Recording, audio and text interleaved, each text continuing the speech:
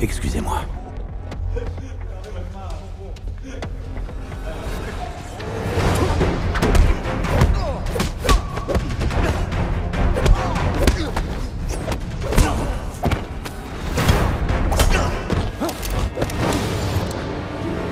Tu vas me mettre en retard. Et j'aime pas être en retard.